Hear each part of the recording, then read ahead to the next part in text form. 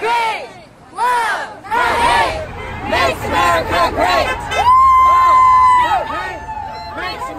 Think back, I remember a year ago when we were here, the last Women's March a year ago, marching along each and every one of you, and there was so much energy, so much excitement, so much hope as we were walking and talking about the issues that we cared about, affordable health care, immigration, jobs, the issues we've been fighting for for the last two years.